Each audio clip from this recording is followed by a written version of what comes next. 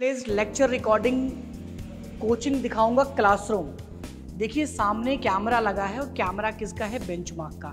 Right अभी camera इस offline classroom में क्यों लगा है? पहले ये समझे.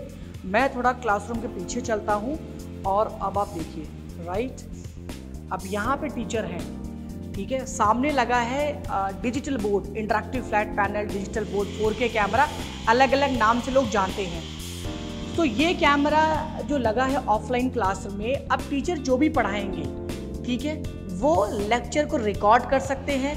अब रिकॉर्ड करने के बाद वो चाहे तो एप्लीकेशन पे रख के बच्चों को दे सकते हैं और जो ऑफलाइन में बच्चे आ रहे हैं वो अपने घर पे जाके उसका रिवीजन कर सकते हैं। या उसको यूट्यूब पे वो अपलोड करें।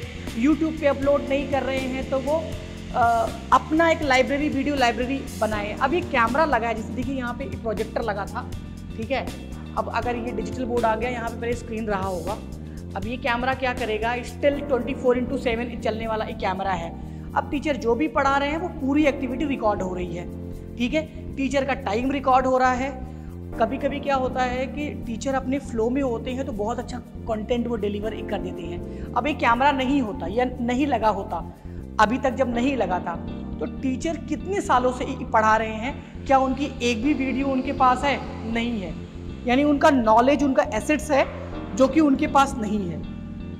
राइट तो इसको बोलते हैं हाइब्रिड क्लासरूम सेटअप आपके पास वाइट बोर्ड हो डिजिटल बोर्ड हो, कुछ भी हो, सबसे पहले आपको एक स्टूडियो चाहिए हाइब्रिड के लिए और आप ऐसे पढ़ाइए और आपका क्लास रिकॉर्ड हो। धन्यवाद।